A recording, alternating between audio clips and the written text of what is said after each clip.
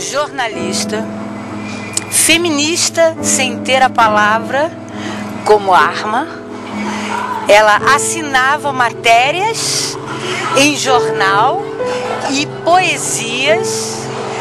Era contra a monarquia, mas o imperador admirava e a buscava em casa para ver a produção cultural que ela fazia na época.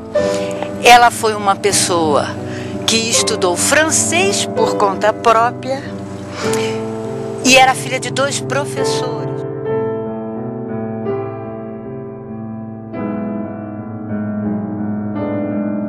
Ela era uma evolucionária e escolheu Resende como sua cidade.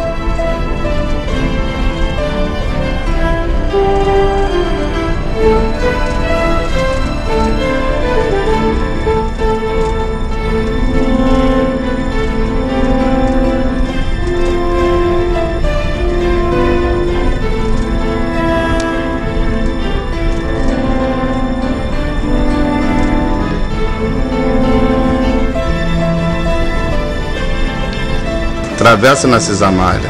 Onde se mora, onde se passa, onde se encontra a história.